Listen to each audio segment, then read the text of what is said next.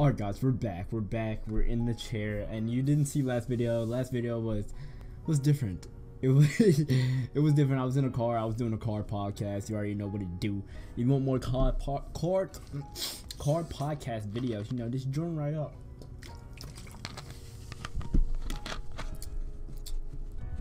But anyway, yeah, join right up and I'll do more videos, man. Other than that, hit that like button, subscribe, and we're just gonna be going over the update real quick. It's gonna be a quick video because I have stuff to do. So other than that, um I love you guys. I can't play my intro because I'm just gonna get We're gonna talk about that next video though. Other than that, I'm out this baby. Let's go over it. Oh yeah, so no intro today, as you know. No intro today. Like probably won't be an intro for a while, but you know, it is what it is. So upcoming maintenance that is coming this week on the 3rd of July, guys, the day before the nation's birthday, I guess. Um anyway, um so upcoming maintenance, the baby Norn is here and Fin event is coming back. The encounter with the unknown begins. That is Norn events and Fin events taking the high load which has been here before and is coming back. So you will be able to, get true weapon of Norns or Norn's true excuse me true weapon. Um you are able to get uh Norn true weapon and Fin true weapon. I meant to say Fin right here but you're able to get Fin true weapon and Norn true weapon. Uh, Fin true weapon been here. You can also get it if you're a new player using the summon tickets um, that you can use an alchemist and you can exchange for his true weapon if you want to. You don't have to have his true weapon. He's still a great unit, still amazing without his true. Um, am I gonna try to get it? Uh, probably not.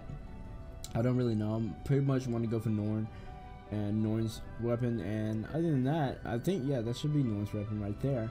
Um, so, oh whoa whoa, Hero Fest Galaxy is coming the eighth, but Hero Fest Infinity is coming the third. Wow.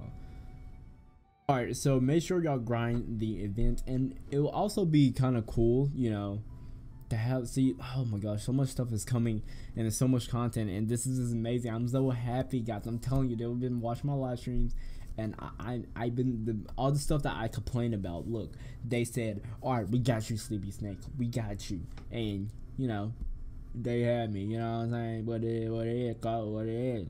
But anyway, um, yeah, so that's gonna be it for this video, guys. Make sure, um, if you have been saving up, Norn is a great unit for Mono Earth. It changes the whole Mono Earth team.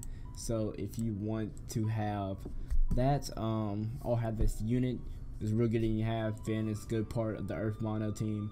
Um, if you have Rivi, Earth Mira, um, Jill, Levette, um, they all can go with Norn with this Earth Mono team.